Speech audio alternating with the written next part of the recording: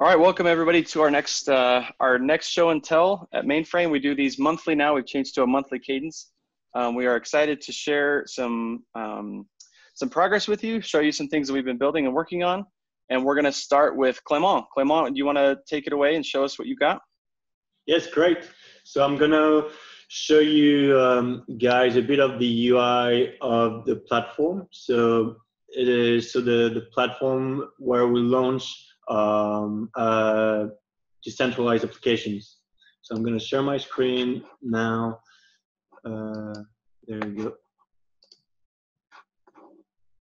And so I will just show you the onboarding and then the main screen. So this will uh, probably change, like, will definitely change in the in the future. And so it's kind of like a first draft, like uh, UI stuff and uh, onboarding and, and play with like flat design with a bit of like shadows. So I'm going to show you and, and show you that. So you have like a welcome screen. Uh, then people can create a password. Next one, when you create a password, you see like when it highlights a bit of like shadow. Then when you have more than like eight characters, you can you can save it.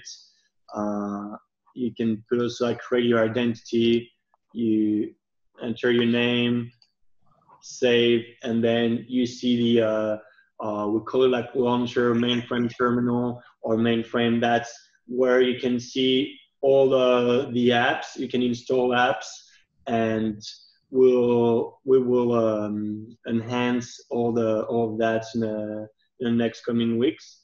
So for now, in terms of design, where in uh, as I was saying, we were using a, a, flat design with a bit of like shadows, 3D, uh, like in on some like elements, and we also like uh, play with um, uh, animations, uh, like more a bit of like interactive uh, uh, design. So in the next coming weeks, we'll be working on uh, on that, and especially the design system. So now that we have uh, uh, we're gonna work on like new wireframes and try to uh, put all that together and create a, a design system and have something very like co- coherent uh, in terms of uh, this where we have all the applications but also in the uh, in the applications. So in the applications we want to have the same feel look and feel and also like a system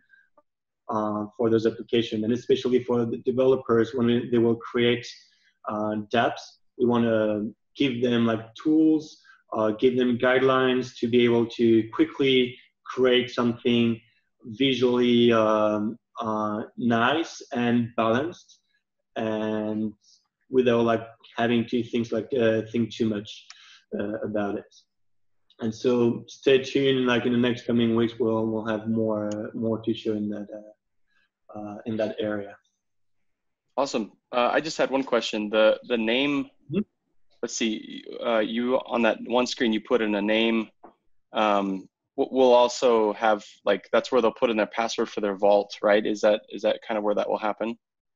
Yeah. Your vault. So so you put a password, you create a, a, a vault, and then an identity. Oh, so and I got those steps reversed, right? Okay. So you, you first create a, a, password, and within this password, this vault, you can create multiple identities. Later, we'll, we'll be able to uh, maybe have multiple vaults. So similar to what we have, for example, on like Apple, like Windows, when you have different, uh, um, when you, you, you start the OS and you see different people, like we, you'll be able to, to start different vaults, and those vaults will contain um, multiple identities, more like different depths. Yeah, we'll uh, we'll look at some of the wireframes that Blake has been working on to to sort of talk about the ways that we can different ways that we can use the terminal. This is this is great stuff. It's looking really good. Any other questions for Clement? Um, so uh, I understand Clement that um, you know, and you probably saw yesterday how product is envisioning a sort of tighter integration mm-hmm. between some of the dApps and the actual mainframe terminal. So, for yeah. example, the address book might be almost look like it's a part of your terminal rather than a, a dApp that you have to like explicitly open up. Um, Mhm. uh, I assume that this is kind of like before any of that direction came to, came from them, right?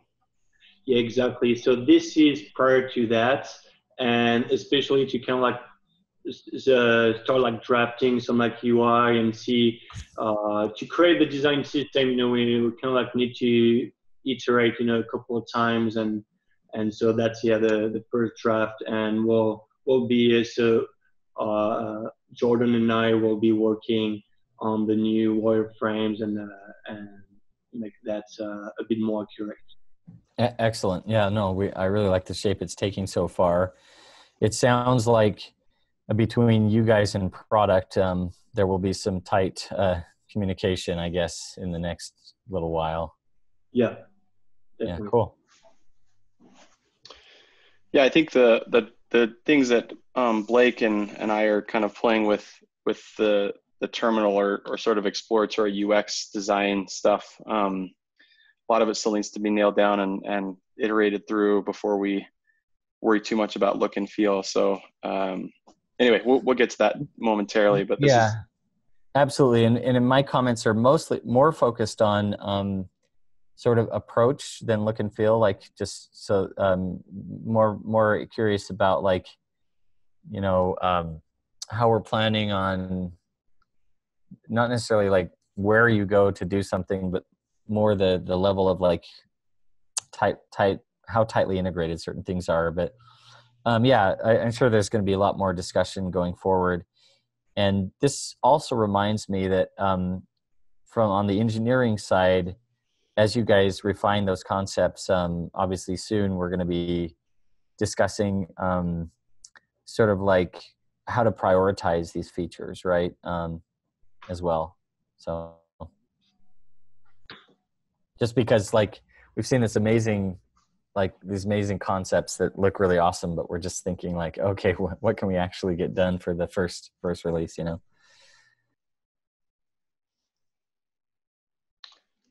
Yep. Cool. Anything else you want to show, Clement? Were you gonna um, Uh, yeah, show preview the homepage? Go ahead. yeah. Jordan's gonna show us like the uh, the little preview of the uh, mainframe homepage. Okay. Um,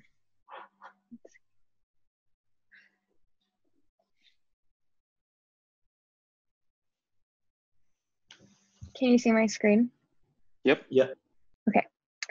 So here's the homepage that we have right now. Um, I think the main the main thing that we are trying to do is to update the content um, while still keeping the brand. And so here we just have added um, some different content and reorganized it. Um, so I'll just go through that so you can see.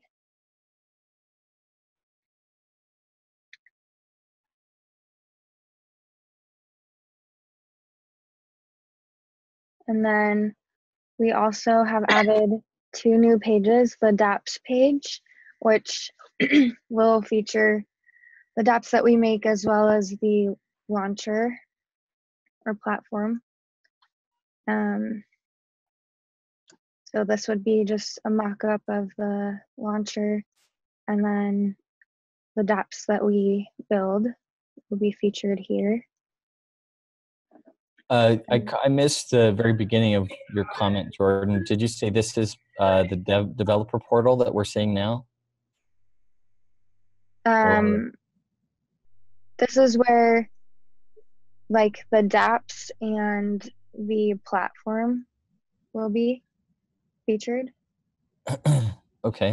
So This will replace the current uh, Onyx section, and Onyx will be integrated in this uh, section now. So we'll have like a more general, you know, DApp section, and we'll all the DApps in that section. so this this isn't necessarily intended for developers per se but um, just like a general overview of our offering is that the idea clement Yes. okay And then the second page that we have is the why page. Um, just to tell about mainframe.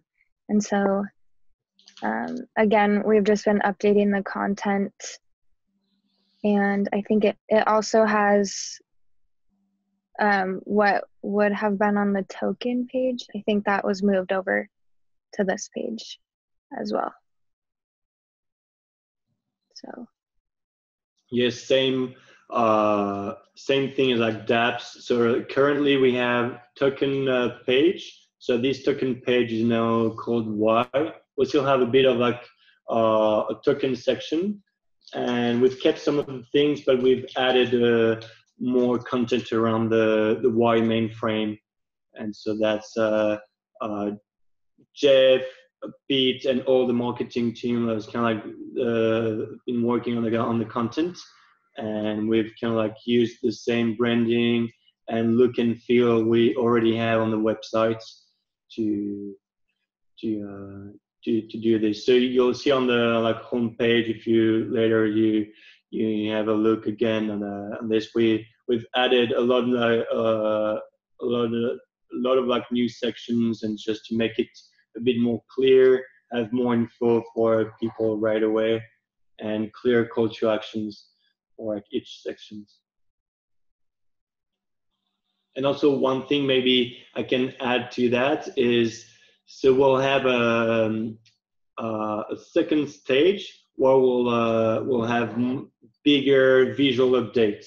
So this is so for this one is kind of like stage one, and we uh, put like new content, reorganize a little bit the website. Stage two will be uh, say it'll be like new visuals, new layouts, new uh, mostly it was like visual and layout as like this is more content uh, changes. This looks really great. Um, just one quick comment I wanted to make on the section that shows the different layers of the platform. Uh, I have a new graphic for that in my latest Upbit presentation, Clement, that I can share with you and Jordan. Yeah. We have a now we have an identity um, column there as well as uh, the, the other ones that are there. I thought uh, we used that one, but yeah, if you can share that with us, we'll, we'll update it. Sounds good. Great, Jordan. Any other thoughts or questions for Jordan or Clement? It's looking good, Jordan. Well done. Thanks. Um, let's let's keep it in in London and have uh, Adam. Do you want to go next or Paul, uh, whichever one? Yeah, I can. I can go.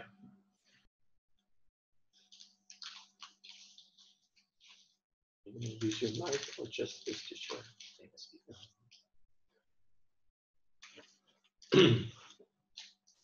okay, so I'm going to walk, walk through some of the developer functionality we've added to the launcher or the terminal. Um, you might notice there's none of like Clement's beautiful design in this. It's just UI I've sort of shut together as I've been building, so it's not going to look visually too pleasing. Um, so this is like as you open the launcher in a user mode, but as a developer, you can switch in the bottom left here to a developer mode. This will allow you to like create your app and be able to test your app. So it's just going to ask for some details your app. And then um, have you tell it where the app's contents are stored. So I'd expect like an uh, index.html file as the root, um, but you can provide like the, the directory, all the contents. And then the developer identity, which I've already created here. And this is optional, but allow you to set permissions for your app. Um, got a few there. And just before you create your app, to give you a summary to check it's all good. So once you've created your app, you should be able to open it from the launcher. It's just asking to communicate You mean the mainframe terminal? Sorry, terminal. Need to get it in. Um, Sorry for being a pest there. and so yeah, you've got your your app here. And then if you wanted to go ahead and make changes, you can make changes. Um, as long as the bundle is updated that you've linked to, you can just refresh here and you'd see your refresh state of your app so you can see changes as you, um, in real time. Um, and then, I don't know, is it worth me walking through actually in, uh, publishing the app? We uh, demoed it before, it's still just um, commands from the terminal on the command line, so I'm not sure if this worth demoing or. Sure. I, I think there's a lot of new people that haven't seen it maybe yet. I I also wanted to ask, was that just like a Command R refresh that you did? Yeah, that's right. Okay. Um, it would be the same thing as just closing and reopening the app. Okay, yeah, so I'll walk through publishing the app contents and writing a manifest file that can be used for installing. Mm-hmm. Just gonna.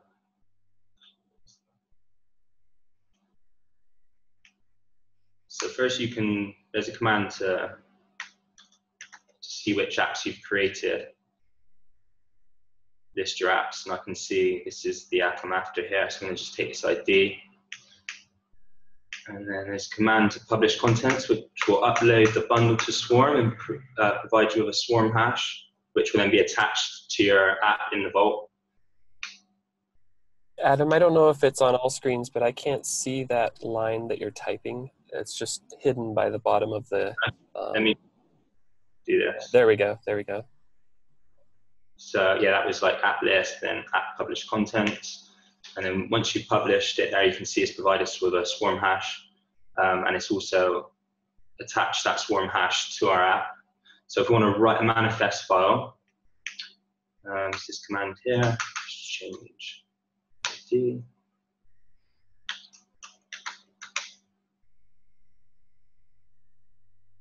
Okay, then it's produced as a manifest file which we can then use to install. So I'm just going to run the terminal again. What was that hash um, that you had on the command line? Was that the apps hash? That was the Swarm hash, yeah, representing the location of the app's contents on Swarm. Okay. Does that does that hash point to a manifest file of any kind as well, or do you have to like download the the blob and then uh, like unzip it to get the manifest, or is the manifest in a different place altogether? Yeah, the manifest was just local. Um, that was just the contents of the app. So, uh, but eventually, though, your manifest will basically be a pointer to where one can download the the swarm, you know, from the storage layer, the um, the contents of the app, right? So that's what the manifest does, yeah. As of So- now, So, I guess what I'm asking is, when you're deploying the the DApp, do you you don't yet know what that uh, content hash is going to be? So, I guess do you have to up, update your manifest after you deploy So it? does it automatically. So when I uploaded the content, I provided my app ID. So once it gets the Swarm hash, it then attaches that um, Swarm hash to your app ID automatically. And then so when you run the manifest file, those details are already stored in the vault, and it uses those details to create the manifest. Ah, okay. So the manifest isn't created yet until you actually deploy. Is that the Yeah. idea? Yeah. So there's Okay. a public step and then um, a write manifest step. Cool. Okay, so yeah, back on like the user-facing side, um, we can install the app from using that manifest we just created in here. Ask for these permissions that we'd set as requirements on creating the app. Then we can see our app displayed, and it should.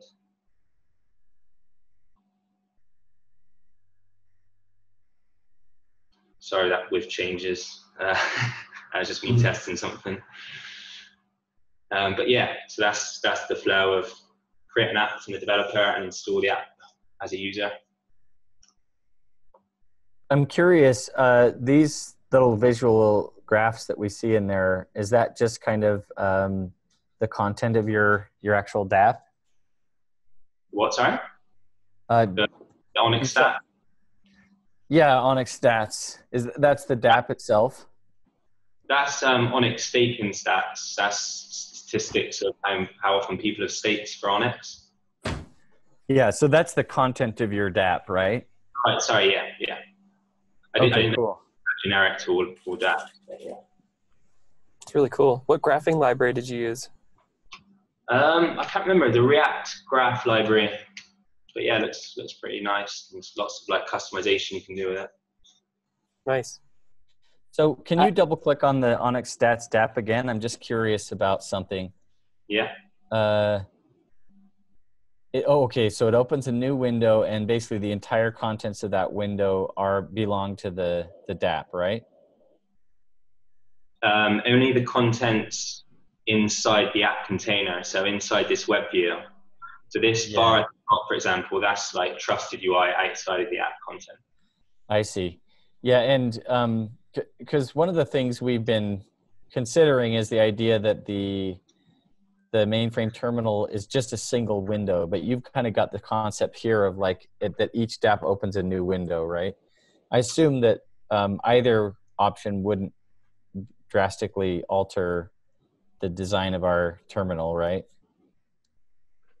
Um, I mean, it will have sort of, it will have a, an effect on how we like architect the terminal, and it's quite a big decision. I think if we do decide to have like windows or tabs or a mix of both. Um, right. Okay. Yeah. Um. Anyway. I Uh. shared- w- I mean, Carl, there was a don't know. thread. There's a thread in Slack. I shared a few thoughts.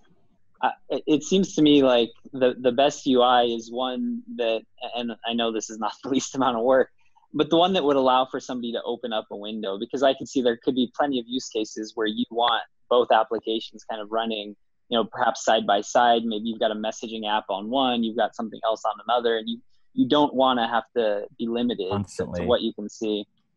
Yeah, no, I I think you're right. I think that it, like a browser, probably this the idea of either tabs or new windows would be would be the direction we would want to go is be able to support either scenario Yeah. eventually. But that anyway, that looks great. I know I'm getting ahead of myself, but Yeah, Good it looks job, great, Adam. Adam. On the stuff that you did on the command line, and, Yeah. and is there? Are we thinking of ways to also have some sort of user interface around that, or is that just because it's so it's such so few steps that it's like ah, it doesn't matter? No, no, that, that will be um, integrated in the launcher and UI as well at some point. It was just for a 0.1 release. That's that, that that's the amount of features we'd sort of lined up. So we Cool. didn't want to add that right now. Yeah, yeah. We eventually, Mick, have been talking anyway oh. about having a lot of visual tools for developers to use that will kind of help them through the process of development in all its phases. Great.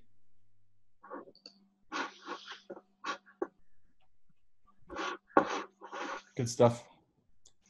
Questions for Adam before we turn it over to Paul? All right, Paul, go ahead. Or uh, can you hear me like this? Yeah, that's fine. Cool. Uh, let me share my screen.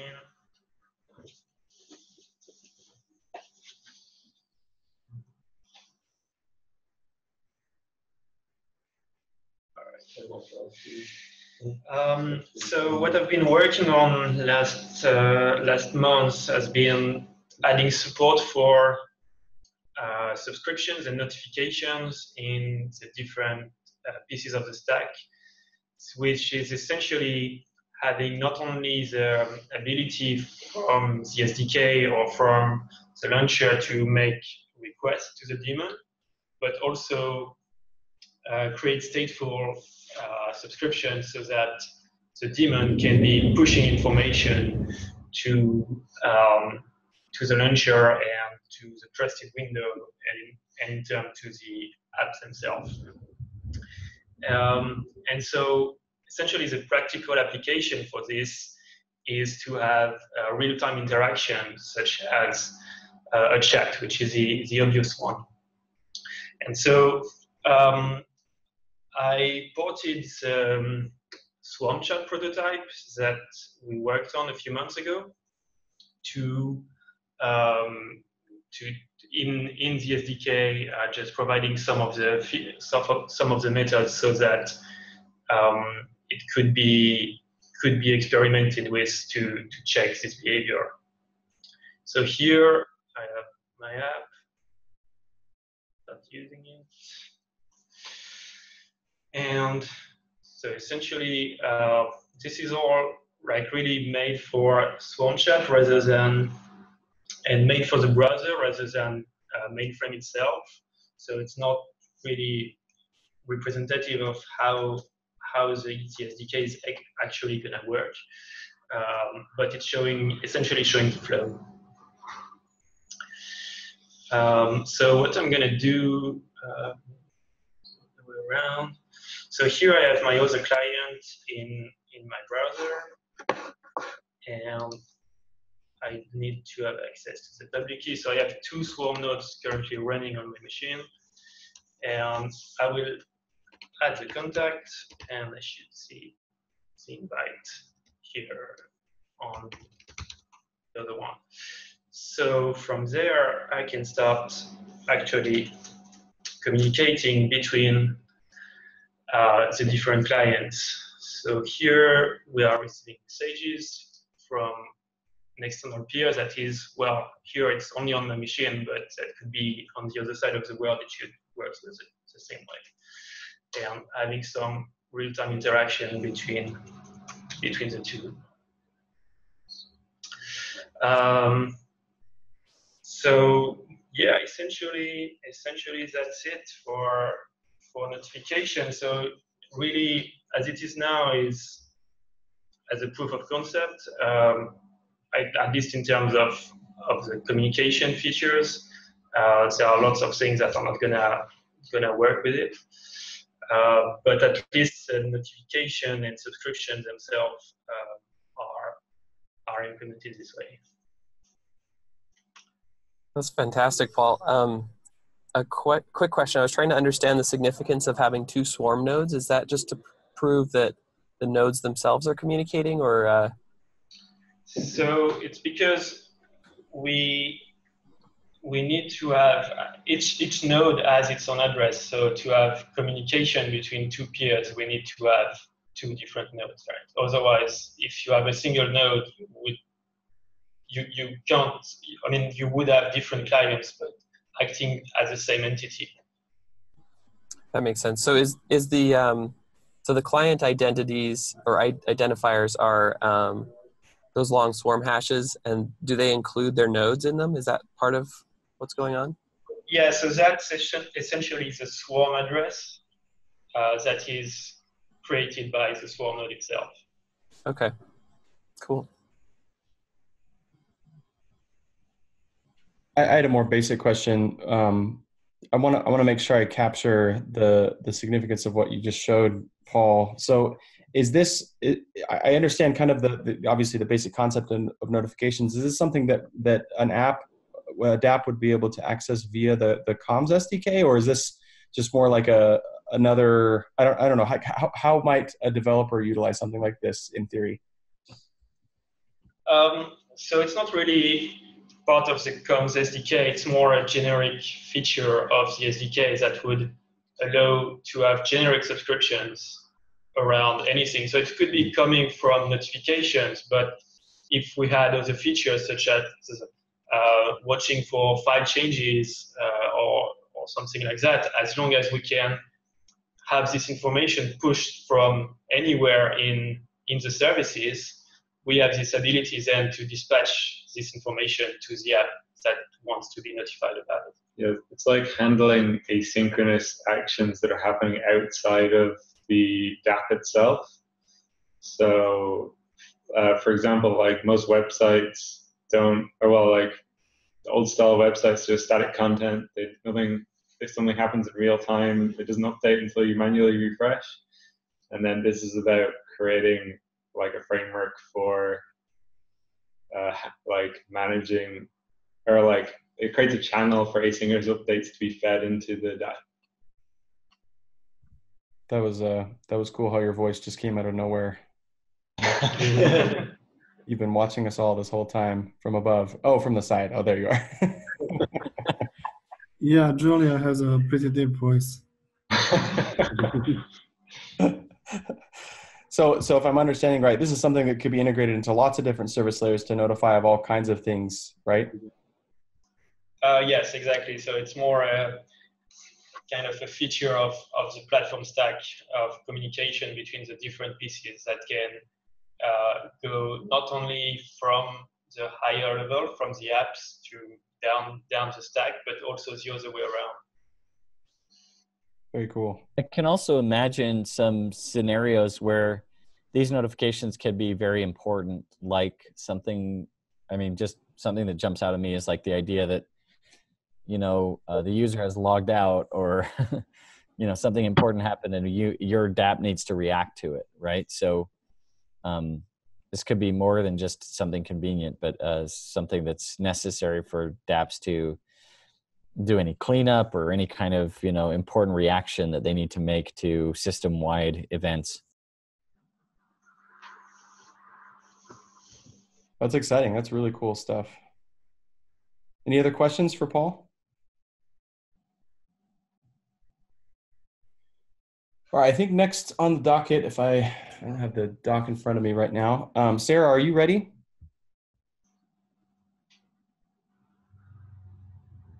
You you're still muted.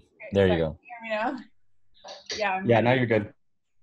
Um, except I didn't. I gotta make sure it's sharing the right thing here.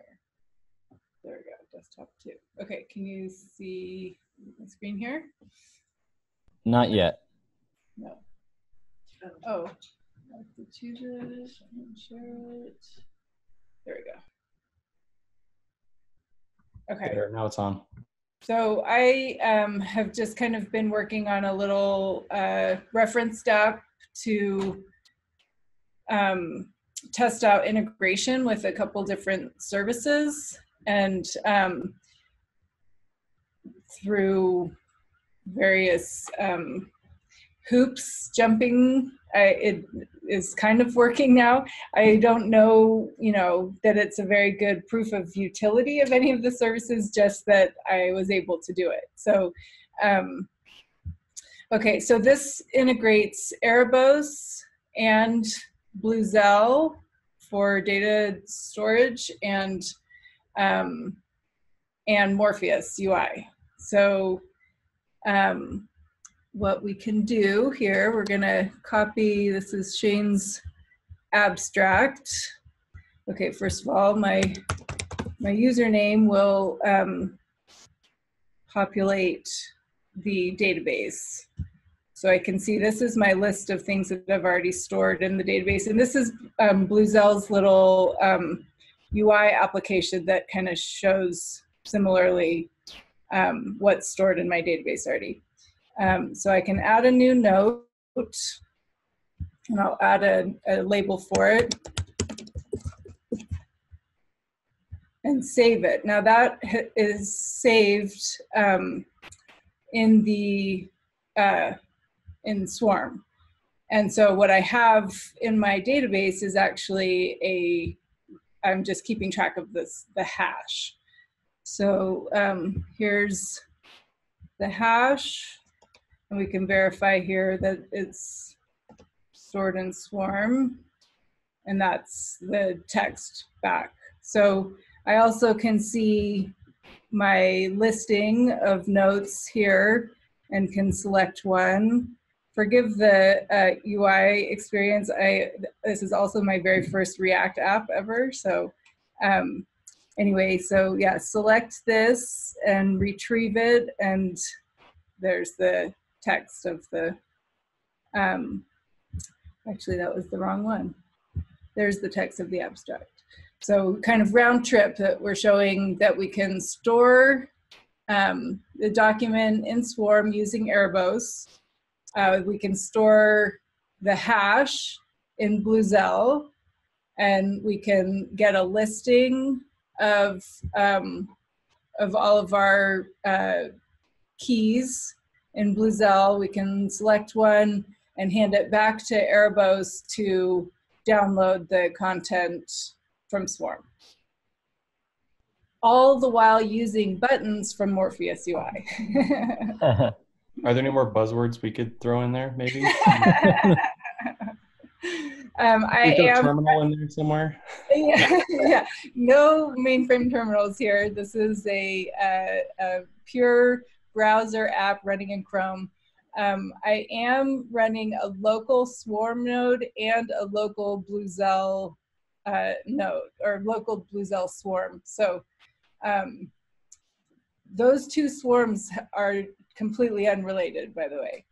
Um, so one one thing I wanted to say that is really great about what you're doing here, Sarah, is um, uh, it, remind, it reminds me of this article that Dwayne shared not too long ago called uh, "The Rat versus the MVP," which was like riskiest assumptions test versus uh, like minimum viable product, and it's the idea that like rather than spending your time like polishing and perfecting something to this that's a, a, a bigger task, something that's going to take you a longer time.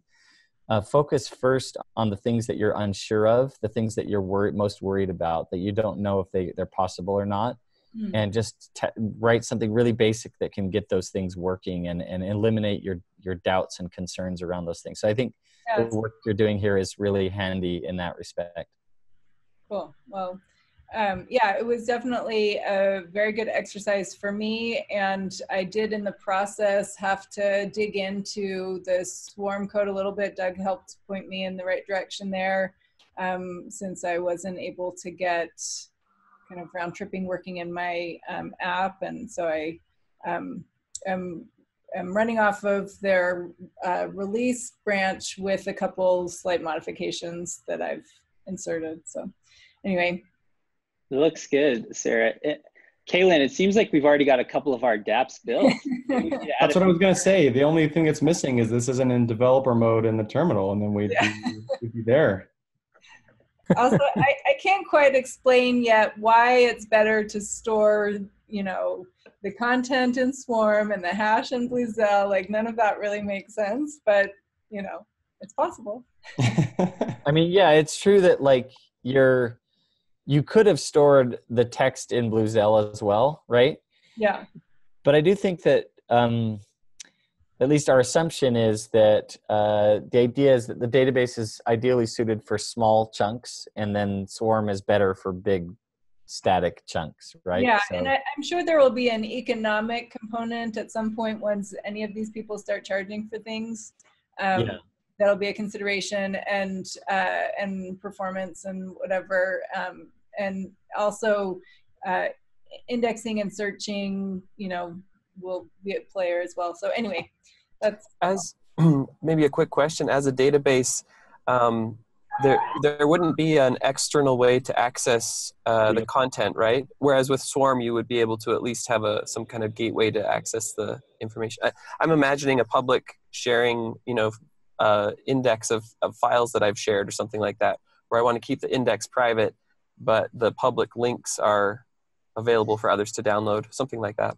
Yeah, so they'll have uh, in the next release for Bluzelle, they'll include write permissions um, with the kind of idea that read would be public. So um, at this point, anyone who has your um, kind of database ID could read anything in it.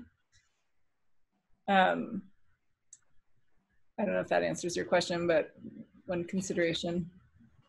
Yeah, maybe partially. I think maybe where, where I was going with that was Web 2.0 um, has no way to reach into Bluzelle at this point, whereas oh, oh right. Web 2 has uh, a way to reach into Swarm, just a, a bridge, I guess. Yeah, I mean, I don't know. Like, there's this there they have a CLI tool and they have uh, this little um, uh, electron visibility, you know, uh, visualizer. So, I mean, there's things like that. But. Cool. So my, my only question, Sarah, is like as you're going through this this process and sort of figuring these things out and, and seeing how all this works, has this helped you think initially about any uh, problems or ways that we can tackle? I, I don't know. I guess I'm I'm curious. How has this helped your thinking, if at all, about how we're going to be building DApps? like I don't know. Just Um, anything I- it helps you with. Well, I, I think that that wasn't really my thought process as I was going into it. I mostly was, it was really just was an exercise and kind of a proof of concept that it was possible. But I think um, it's exposed questions for me more than anything, just as far as um, when it's appropriate to use this type of storage and when it's appropriate to use these tools and whatever. And um, so I guess I, I realized kind of the importance of not only being able to answer those questions ourselves, but then also communicate the, that kind of thought process to the app developers so that we can kind of help guide them through, um, you know, their, their own choices. So yeah, I'm not sure I have the answers to those, but I at least kind of can see like that we need to, I, I need to more fully understand the trade-offs of each of them to be able to kind of recommend this, you know, one for different scenarios or whatever. What, one important thing that we have discovered, um, Kaylin, is that we've discovered some of the limitations in um, s- some of these services, uh, especially like, for example, Bluzelle doesn't currently support encryption. Um, uh, so there's no privacy of any kind in terms of uh, being able to, at least nothing provided by, by Bluzelle directly. Correct me if I'm wrong, Sarah. So Well, yeah, they, they encrypt themselves kind of uh, before and after it's uh, retrieved or set, you know, so it, within their system, it's, it's encrypted, but not in a way that I alone have access to. Does that make sense? So anyone can request your database, right, and read it. Yeah. Yeah. Yeah. So, um, so basically, one of the things we've learned, Kaylin, is that if we some of the features that we consider to be fairly essential are things that perhaps, if we really, you know, depending on how essential we consider them to be, um, we may need to provide sort of um, make it so that our API does those at higher levels rather than um, those being offered by some of the underlying service layers. So uh, one common case that I could see is that you know you want to keep the contents of your database private. So what we do is we provide some, we make our API very convenient, very easy to use, where you don't have to think too hard about encrypting everything manually yourself. But we would have to implement that um, that piece of it at a, at a higher level. And the other thing that that helps us has helped us solidify our thinking around is that like because each service layer may have a different subset of features that it provides um, it kind of makes sense that we i mean we're adding value as mainframe by creating a uniform sdk that gives the user the same experience regardless of which service layer they decide to use if that makes sense Sure. Any other questions for for Sarah?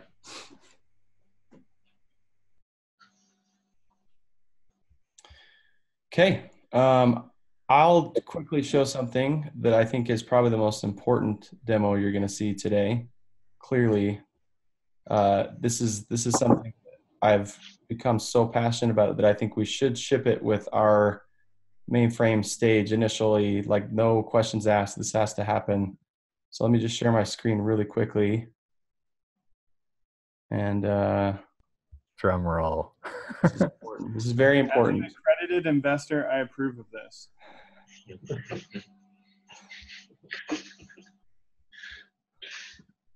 All right, I may have to go out of uh, the, the recording that Zoom is doing is is making things a little bit difficult here. Give me just a second. It messes with my desktops. Okay, here we go. So, um, desktop one.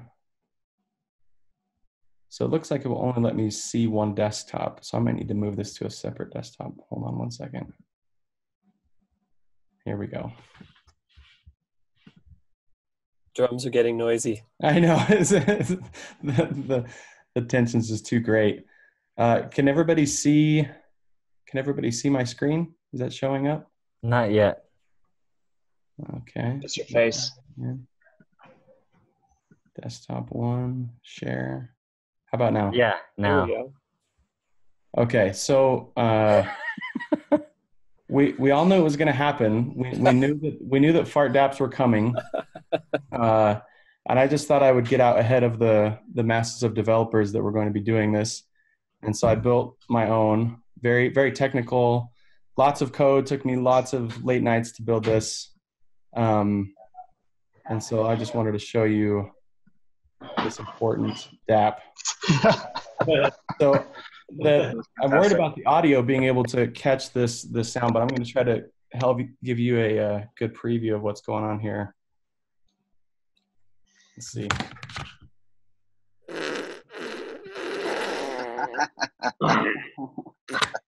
You even have different ones. You yeah. Okay. And, and you didn't see the just UI.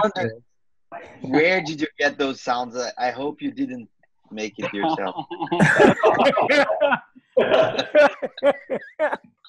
No, I didn't, and I- that was actually part of the demo because the sounds are coming from an outside web call, and I actually already allowed permanently the access to that web call, so you don't see the UI that pops up that asks you if it's okay if you play an external site sound uh, from Sound Bible is actually the domain, uh, but there were plenty of sounds I used from that website.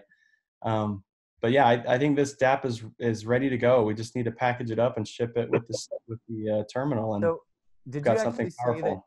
that um, you were prompted properly by the terminal to Yes. an, an external connection? Yeah, yeah. That's so when. Yeah, yeah, when when you first click the button, it asks if you want to allow, um, you know, a web uh, a, a call to that um, Sound Bible domain, and then you hit allow. And I accidentally hit allow and don't ask again, and so that's why it didn't didn't show up uh, from earlier. if you create another identity and you open the same app, it's probably gonna ask again, right? yeah, that's probably. Yeah, Let me try, yeah, I try it it will. a different one. Just look at what your hands have wrought, Adam and Paul. There we go. Yeah, there we go. That's awesome. That's awesome. Yeah. So I, I mean, in all honesty, though, I, I- think it's an, you know, I felt it, was important for me to just kind of get an idea of, you know, how this works. I, I've seen Adam and Paul uh, demonstrate this, but it was just helpful for me to go through the process myself and and and try to put myself in the position of a future web DApp developer. And uh, so it was it was very useful for me. I still have a bunch to learn about how the process works. It's not on Swarm. You know, I I haven't been able to get it uploaded to Swarm and installed via Manifest or anything yet, but um, uh, it, I'm sure I'm sure we'll get there once we we probably need to take lots of Clement's time now to design a really good interface around this. Uh, so that it's ready to, to ship. How- How would you even improve that? I mean, it's, it's pretty solid. And uh, way to get out there and grab that first mover advantage, Caitlin. Well, that you know, I, in front of- I in am front of the market. I am a Network Gold Rush developer. I'm I'm one of those per- personas. I'm a Gold Rush developer. I see the opportunity, and here it is. This is it. I need some. I need some 3D visualizations. Good thing we have a good editing department. Yes. True. I don't know if anyone else is watching Binance, but our coin price is taking off right now. Cool. Well, Do you th- remember Google Nose that uh, April Fools? I don't Google remember knows. That. Was a joke from Google that they they they said they they just released a a feature that you could smell your screen and feel everything, and it was a, like an April Fools uh, joke. so if it was true, we could integrate it. It would be great. Mellow vision, I think, or something. So, Well done, Kaylin. Hey, well done. well, I'll, I'll take I'll take credit for the pump of the week, even though Telefonica was probably Well, this almost- might need its own blog post. You Yeah, need to polish the UI a little bit and make that its own blog post. It's very true. this is exciting, though, guys, to see um, to see just like real little steps being taken on the mainframe platform. So, awesome work, everybody. I everybody. mean, it, se- it, yeah, it seems like one of the big steps that we need to take is try to get the terminal or whatever we're ending up calling it at least to a, an MVP state so that we can kind of start seeing these DApps, you know, live there, whether it's the fart DApp or anything else, just so that it, try to get it to a point where we can start experiencing these DApps, even people who aren't developers, you know, get Matt and Brad to start seeing what's what's what's in this terminal and and using even these basic dapps that are getting built. Like it'd be great if we can try to get that to a point where we can do that. Yeah, I think what we could do is probably um, create a really simple, just sort of like internal mainframe DAP list DApp that everybody can install in their launcher uh, in their in their terminal, excuse me, and then they can see what other DApps are there. I don't know. We, we can figure out a way to, to sort of have a repository, so sort of a pseudo marketplace of of DApps Yeah. that can, can use, right? I think one easy step that could get us close to that is if we had file associations so that if you double clicked on a manifest, it would just open it up in in the the terminal and it would know it would prompt you to what at, you know whether you wanted to install it or not.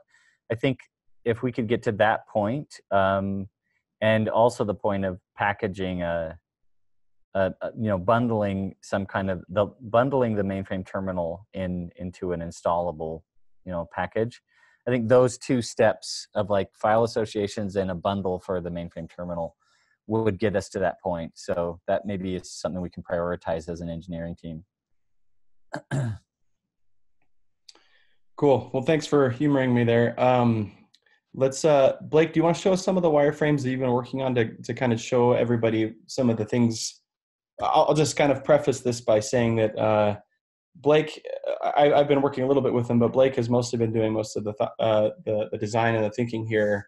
Blake's been thinking a lot about the dApps that we're building and, and sort of the overall um, UX, uh, the, the context in which those dApps will live in the terminal and how they're going to be used in the dApps themselves and the UI and everything. And so some of this looks like it conflicts a little bit with what Clement is doing, but it's really just more kind of very rough and raw sketches from a UI perspective, or sorry, from a UX perspective on what what is the user experience like, which which dApps make sense and what in what places, and and and how should the user experience those dApps. And so, uh, Blake, do you want to show us what you've been working on? Yeah, you bet. Um, yeah, and I actually think that um, it's not going to really contradict too badly with the direction Clement was already going. Um, it's a UI. But is that coming through okay? Can you guys see that? Yep. Looks good. So uh, yeah, as this is starting to come together, uh, Sketch doesn't like working with Zoom for some reason. It always freezes. Um, lame. Sorry, I got the pinwheel of death going right now. Uh, yeah, so this is probably too small for you guys to see. we can see um, little thumbnails uh, of your screen so you might as well uh, just talk us through what you, what we can see it it disappeared now but Yeah, I just uh, relaunched Sketch. So, oh okay um,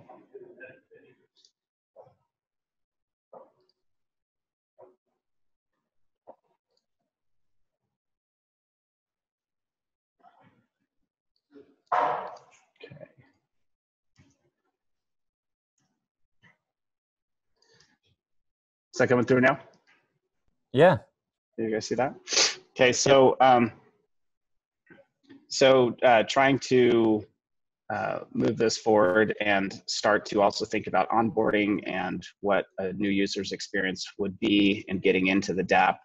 So following that there's um, only a requirement for a password and a name for your first default identity that gets created in your vault that is created when you create your when you sign up and and start using the terminal for the first time um, so you would be taken through this onboarding registration flow and then this would all collapse maybe over right to left what the visuals we don't have to worry about but you'd come into um, an experience more like this screen actually here where you see that this side panel on the left is all collapsed and zooming in, you'll notice that uh, we have a few things. One, you have the mainframe logo, which is the default jump back to your terminal dashboard, which will just be a launching. Sorry, pinwheel again. But this will just be the launching screen for the different apps that you have installed. Um, this is a big placeholder of how we're going to make the most value for the user out of this dashboard screen. We don't know yet. For now, it's just basically an iOS launch screen or an Android launch screen type of uh, type of experience. Um, but as we've started talking about the different dApps that would exist on the terminal, um, uh, a lot of you are privy to this conversation. We've started moving in the direction of there are a few core system dApps that are fundamental to the terminal experience.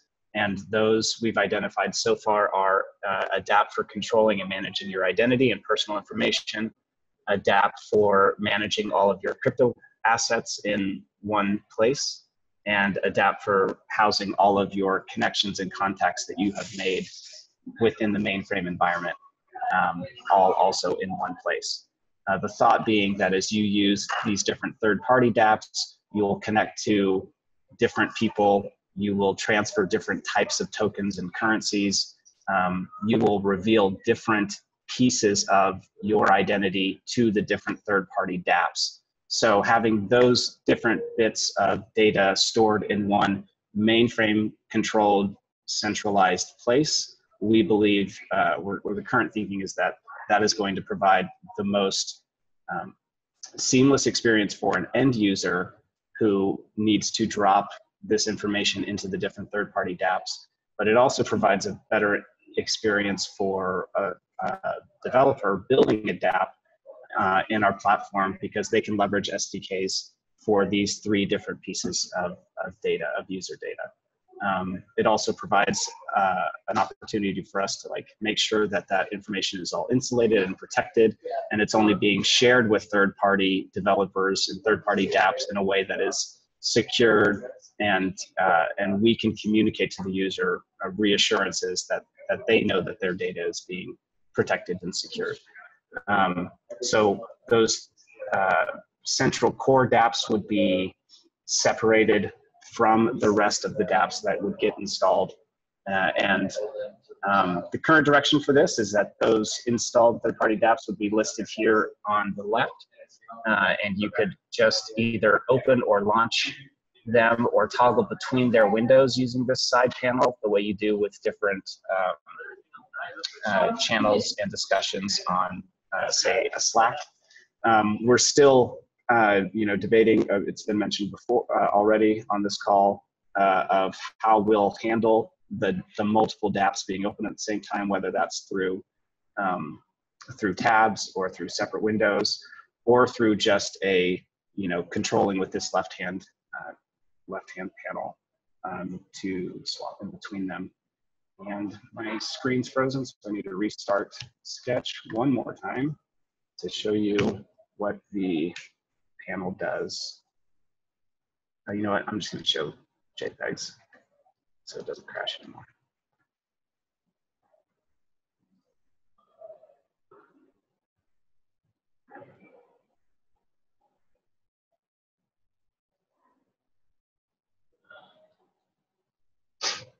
Um, Okay, so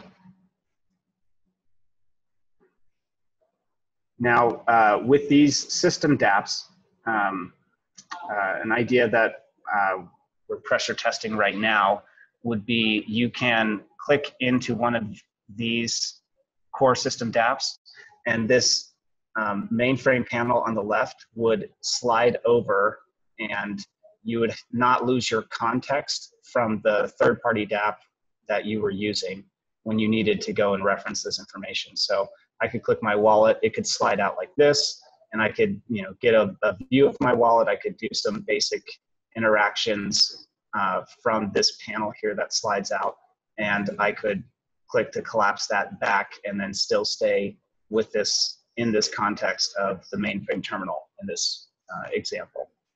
Um, that would extend to things like contacts and you know what the contacts identity cards uh, contain and what you can do with it is uh, another feature set that we're still refining. But in this view, you see kind of this aspirational DApp marketplace for us where we have enough dApps to have categories and feature dApps and things like that. So that would be, you know, it's very much down the road aspirational. But um, you'll see that uh, I have clicked the get more dApps over on the left. That's why that is dark. And then when I was in that, I opened up my contacts for who knows why. And uh, here you see Mr. Pink. Um, uh, it, it is showing me that I have connected with this identity, Mr. Pink, on four separate dApps. Those dApps are Pay More, Polls and Voting, Filevault, and Kitty Clash. And uh, potentially even we could have some shortcut um, common action launched directly from the address book into those maybe.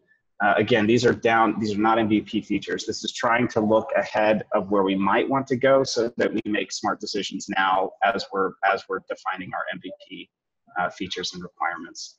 Um, so uh, that is that. Uh, just on this call, as we were on this call, I added a developer mode toggle down here by the settings in the bottom left of the mainframe panel. Um, so that was wallet, contacts, and then identity. So the way we are currently talking about a user's identity is um, not so much that I have uh, different aliases, which is a word that I have been using, but rather that your quote unquote identity is a superset of all of the different names you have used with third party dApps inside of mainframe, and they all get collected in one place for quick reference. Email addresses, avatars, whatever personal information you are sharing with third party dApps, it all kind of gets collected and organized for quick reference within your uh, identity dApp. And you could even potentially say, oh, this email address, I've used it three times and uh, it is currently being accessed by these dApps. Um, uh, a future feature that we're going to flush out that came up in the conversation yesterday uh, potentially would be when I have this, an app open like this one here, Onyx Lite, potentially having what identity information Onyx Lite is accessing flagged somehow in here for, for a quick reference. Um, so that's that's something that we'll still need to, to bake a bit further. Um, one of the reasons that I like the direction of this left hand panel. Uh, there's, there's a few.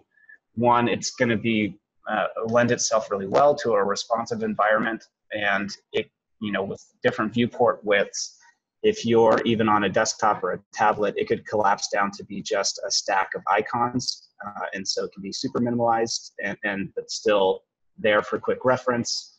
It pops out uh, without losing your context uh, for whatever you're currently doing, whatever your workflow is. And, um, and yeah, so that's kind of uh, the current work in progress. Uh, these just started coming into existence over the weekend. So this is still very, very preliminary uh, look under the hood, but, uh, or behind the curtain rather. And that, but that's uh, kind of a snapshot of the, the wireframes for the terminal and, and how they're starting to take shape. Any thoughts or feedback? things that you hate or love or hate.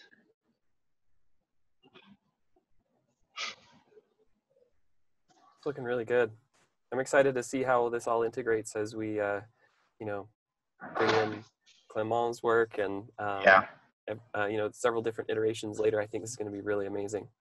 Yeah, I think so too. Once we get there, the, the real good artists on this, I think it could turn into something really special. So I'm, I'm feeling really excited about the, the progress we're starting to make.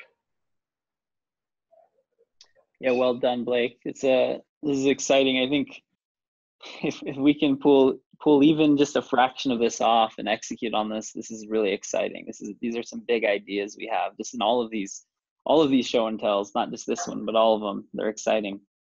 Mm-hmm. My master plan is taking shape.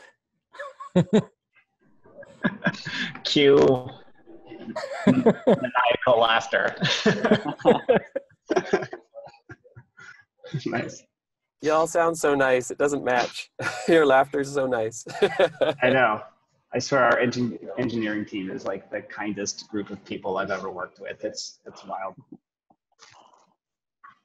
But the business team, on the other hand. Oh yeah, they're a bunch of jerks. All of them.